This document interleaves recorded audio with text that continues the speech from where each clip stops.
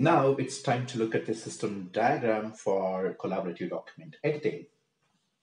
So I'm going to give you a high level overview of the system diagram, how I have designed, and it is always um, you know debatable. You can come up with a, a even better approach or better system design for collaborative document editing. And this is what I have come up with. Um, this is not exactly a microservice or it's not a monolithic. It's uh, somewhat like service oriented architecture you can think of. I don't want to uh, uh, show it in a microservice way because it will just um, clutter the uh, diagram. So I have kept it very high level and simple for the understanding purpose. So now I'll give you an overview um, and then I'll go uh, with each and every component in them. So on the left side, you can see uh, for the representation purpose, there are three clients connected.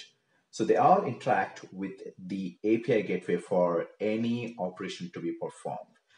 For that matter, to get the comments, uh, which is commented on the Google Doc for any given line or any given section, or be it if you want to send notification or if you want to grant permission, if you want to ask for the permission or anything, it always goes through the API gateway.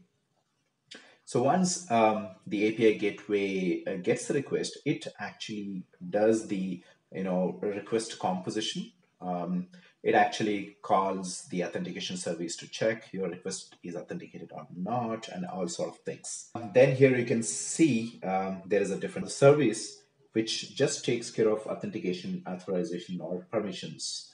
And the other, other component which just takes care of the comments and it is directly connected uh, to the NoSQL as we are expecting a lot of comments on the document and we also want to have a hierarchical view of the comments also. Um, so I'm expecting that data to be a lot, so I'm thinking better to save it in the NoSQL DB. And over here we have email, GCM, or notification. That itself is, um, think as a service, which takes care of all the notification related stuff, which uses GCM or APN. Over here, we have app server or services, which provides all the different APIs to land to the main uh, you know, Google Docs page. And uh, if you want to export the document to PDF, HTML, or any um, different format if you want, all these, um, or even if you want to upload a new document and convert it to Google Doc, all these things will be handled over here. So we have RDBMS uh, because certain things we need um, to be consistent and we need ACID property there, um, like users or even the document ID and the uh, reference to the document and all the different resources. Um, so, so we have RDBMS, we have NoSQL, we have time series DB, we have Redis, all used over here. Time series DB, as I have already mentioned, this is mainly used to store all the different um, historical operations performed by individual user on a particular given document. Okay, now come to the main part, the very important part that is Node.js WebSockets and operations queue and session server. So for the first time when the user connects or opens the doc, he will actually hit the API gateway and he loads the document. And as soon as if he has the permission, he will get a session established once he go to the edit mode. And then he gets a Node.js WebSocket, Node.js or you know WebSocket connection um, which is established from the browser to the server always on. So now he can efficiently keep on sending the small operations as and when he wants um, and then receive the updates from other clients from the server immediately as soon as they broadcast it. So this design um, is design thinking. Uh, I'm using operational transformation. So I'm expecting the message size to be very small. So web sockets are best uh, for those kind of operations, uh, even Node.js um, handles it well. So all these operations should be ordered in a queue because um, I mean, if two guys are have sent the same operation on the same line or same character at the same time, you still, or the service should still uh, prioritize one operation over other. So we need to, it's better to put it in the queue and then keep on ingest as and when the operations from all the clients for that particular document uh, keeps coming in. So we have operational queue, operations queue here where the, all the operations are queued over here and the session server will keep on ingesting those operations and it keeps its own state of the document and that acts as a single source of truth. Um, and also it keeps on saving a copy of history um, or operations history into the time series DB over here so that um, if you want to revert it back to a particular version or if you want to check who edited this particular line or this particular word, we can easily get that information from the time series DB. Or I'm using time series DB, but if you if you want, you can actually use NoSQL. Or if you want to have a you know tree kind of representation or a, graph representation of how this part, particular you know line changed or document changed, you can actually use graph um, DB as well. And there is a cloud storage if you want to save the document as it is, or if you want to, when the user converts the document to PDF or HTML or any other format, if you want to give you a, give them a link to um, get the document, obviously once you download it, you need to upload it to the cloud storage, and that link will be provided to the user uh, via email or somehow uh, for them to download. So you can use the cloud storage there uh, to save that um, exported document. Now let's talk about WebSockets. Most of you guys know why do we need to uh, have WebSockets and what are the advantages. For the newcomers, I'm going to explain it anyway.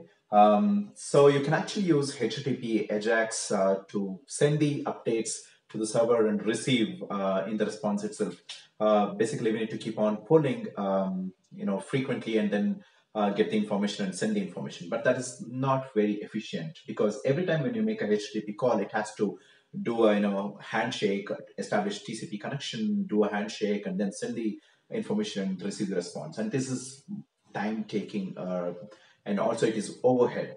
Um, so to keep the um, connection lightweight, we have to definitely go for WebSocket. Um, other than HTTP AJAX, we can actually use long polling or Comet like our implementation, but those are not much efficient. Um, and also, every time when we make HTTP call, the header size and everything will be really high. So when we have uh, WebSockets, um, it actually makes connection, uh, establish connection once. And once it does, we can actually uh, send and receive the messages uh, seamlessly um, in real time. This actually helps uh, us to keep on sending the information as and when the user modifies the document. We don't need to keep on polling periodically. So that's where we are saving the bandwidth and also overhead on the you know, browser also. Here we have a connection open. If the user is editing something, then only we send it. Or if you have any updates to be received, then only we will receive the message. Um, like server only sends the message. We don't need to ask server, do we have any information? When we have a connection open, server will keep on sending the updates to us. So these are the advantages of having you know WebSockets. And on the server side, we can actually use Node.js, which is well built, um, um, you know, asynchronous server, uh, which actually handles lightweight messages and which is um, built for these kind of use cases. And also, when we use WebSocket along with Redis, we can actually uh, provide a lot of cool features like we can actually enable chatting feature for the users who are editing the document that can be easily implemented just with the WebSockets and the Redis. And also we can, uh, in real time, show where exactly the user is editing their cursor in different colors uh, as and when uh, the user joins to um, collaborate uh, to edit that particular document. This is all possible just because of the WebSocket, um, you know, real-time communication. So now um, I'm going to a little bit explain about why I have chosen to use microservice um, kind of architecture um, for this particular application. Because there, if you see there are different kind of services altogether. There is a notification service there is a comment service there is a you know session service there is operation service there are different apis right? If you see all of these different services i can't make all of these service onto a one service and it look i don't want to make it a monolithic service. If one uh, service goes down it just pulls everything along with it. So I have identified very important services. I can just deploy them in a separate as a separate services. It will never impact, you know, failure of one service will never impact. Say, for example, if our comment service goes down, our doc editing, um, you know, saving, export, import, and everything is still functional. Only the comment services will not be available. I mean, that's fine. Instead of taking down the whole app, it's fine to ha have one service down and all the other services are up and running, you know, very well. So that's the reason why I'm going with the microservice architecture. So first of all, it gives you the simplicity and modularity of the different services. We can maintain um, different services um, without affecting other services. And the second thing is it's very um, easy to develop and uh, we can develop any services faster without affecting anyone. And uh, um, if you want to talk uh, from the developer's perspective and management perspective also, managing you know sub, a small service uh, separately itself is much easier than managing the whole um, monolithic service and also uh, if you're a new developer who joined the company just now and uh, if you give the call for the whole google docs it's very difficult um, to understand if it is a monolithic application. But instead if it is um, microservice you can just give the comment section code if you tell them to understand it's much easier to understand the whole core and you can uh, easily debug anything or you can easily add any services into it. But if it was a monolithic, there is a, a hell lot of dependencies in between different services. We can't just um, separate those things, even if you built it as a module, but it will not be that easy. As a service, it is much easier to understand, develop, and maintain and deploy also. And also, uh, you know, freedom of using different um, technology stack. I can um, say, for example, for all the APIs, I can use Python as um, um, you know programming language to develop that, and I can use C++ for handling the you know operational transformation itself, because it is proven that C or C++ is kind of much faster when you have a lot of operations involved in it. It's fine. I'm I have that freedom to um, you know implement operation transformation using C or C++ and implement uh, all the APIs and all the comment service and everything is in Python or Java. That's one more uh, advantage. If it was monolithic, so you will actually tie it up to the old, um, you know, code itself, and you have to even if you add, want to add a new service, you are kind of um, tied or locked down to the old technologies, and you have to use the same old thing. But in this case, it's not like that. You can actually use any different stack for any different service and then you can deploy independently and then make them talk to each other using RPC or um, you know protobufs or you know REST or anything like that. And uh, also the fourth thing is scaling is easy. You can just scale up the service which is getting more traffic. Say for example, if the if the people are not actually using the chat services, it's fine. We can just scale down and then we can save a lot of resource. And uh, we can scale um, comment service only, and then we can scale API service separately, which we have a granular control on the services where we want to scale or we want to downscale. So it will. So these are the advantages of having you know microservices. So let's learn about API gateway. When I say um, the system uh, the Google Doc system is designed in microservice um, architecture. Obviously, you must be thinking that there are so many services. How the clients will know the know about all of these services and how do we deploy and everything, right? So for all of those things, uh, API Gateway is the answer. All of the microservices are usually deployed in Docker-like, um, you know, uh, strategy, right? Uh, each and every um, microservice is built into a Docker as whenever we want to scale, we actually increase the number of uh, Dockers uh, deployed um, and everything. So this all can actually happen via one system itself, like for example, Kubernetes, for example, or uh, Docker Swarm, or there are so many other uh, technologies available there. So Kubernetes also act as a API, get, API gateway uh, what it actually does is, as the name indicates, it is the main entry point for the for all of the backend services. This is the gateway where the clients will actually hit the request to. So when the client make a request, the request will first land at the API gateway, and then the API gateway decide which microservice or which instance of the microservice uh, where to hit that uh, uh, hit the service to get the response back to send it back to the client. So these are the advantages of having the API gateway. So the first one is single entry point. So the clients will never need to know for this service where to contact or which IP to contact or which static IP or which hostname. It's always one entry point, one IP. It's well, um, it's easy to configure. So there is always a single entry point and API composition. So when you have a microservice, say for example, just to get the uh, product information, uh, this is just for example, just to get a product information uh, in an Amazon page for a product, uh, we might need to hit, uh, you know, product related information, recommendation, uh, you know, reviews, ratings, number of items left in the, you know, inventory, all this information, right? So there can be about 10 to 15 API calls we might need to hit if we don't have API gateway because all of those are different services. We have to obviously call all of the different services to get all of the information.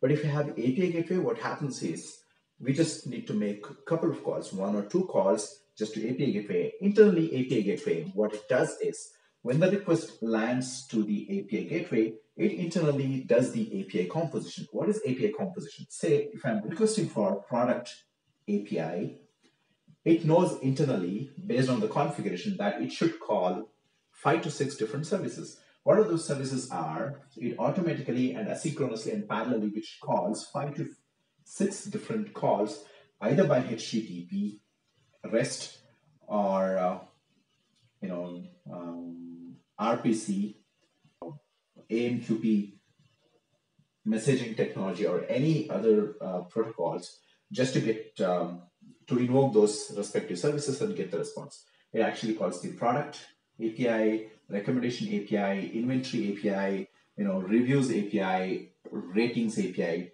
and collect all the information into one response and sends it back. How cool is that?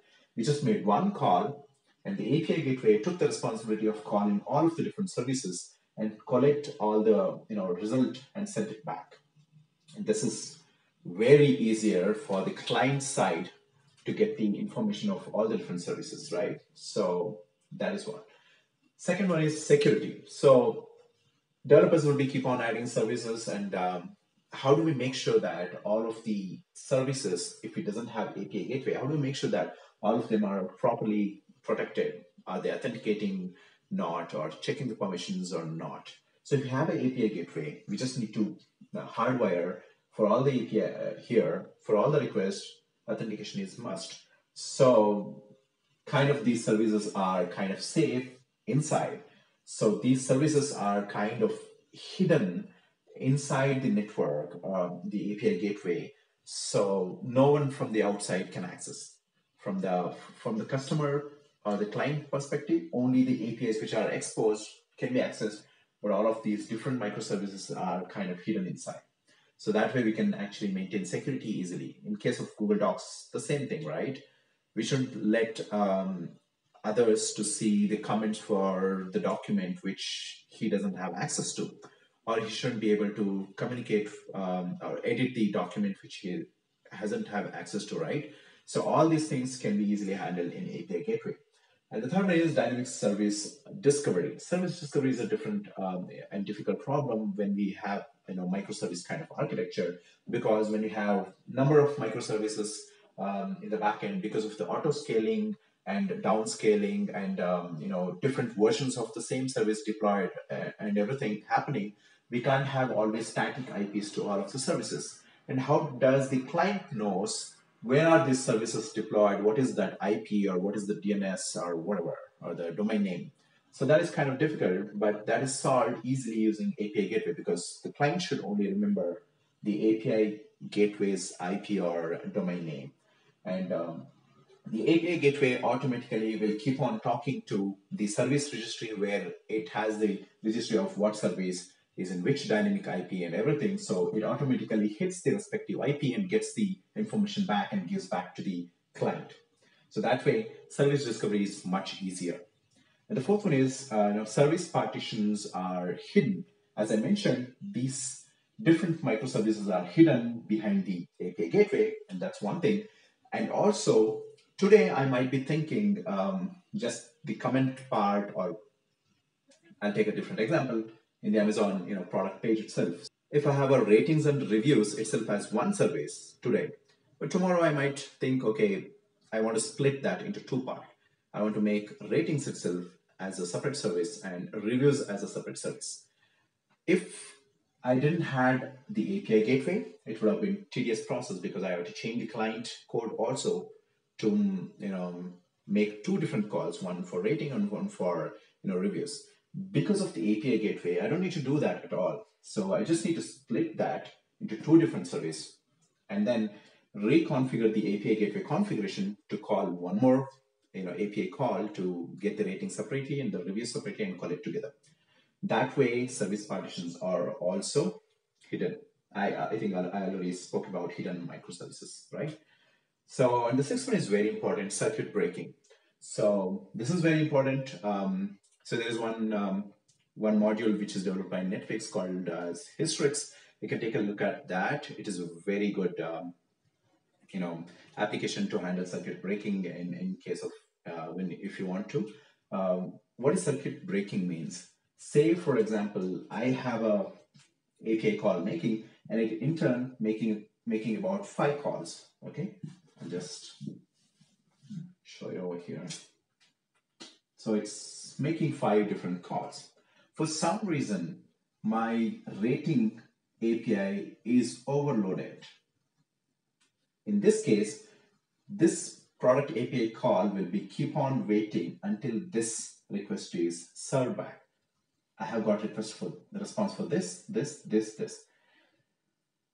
I'm just waiting for response for this particular microservice for the ratings to receive. This is kind of blocking, right? Because because of just one uh, microservice is not responding, the, the the whole thread itself is blocked, and in turn, we're not able to send back this much response to the client. So instead, we can actually um, so all these kind of problems, right, can be solved using a circuit breaking pattern. So we can actually set a timeout first on each and every microservices. If when the API gateway makes a call to all of these different microservices, if any of the services didn't respond with a given set, you know, hard timeout, just return all the response, whatever you have so far. And you can set the priority also. Say if you have the product information, just send it back. But if you have all the other information, but not the product information, just discard everything and send 500 or for, for whatever, 500 or something. So that all composition we can actually easily make. And also one more thing is, when um, the product API understands that the ratings microservice is not actually responding like the way it was supposed to respond, it can actually stop making requests to this service at all. It will just stop making requests because it understands that this guy is kind of overloaded, so it's not responding. If I keep on making the request, it will just keep on cascading the uh, you know requests, and then the service will never recover. So it just stops sending the request to the ratings API. So it lets ratings API to recover and um, and and become healthy. So after some timeout, like maybe after 10 minutes, it will just make one call to check whether the rating API is up and running healthy, healthy or not.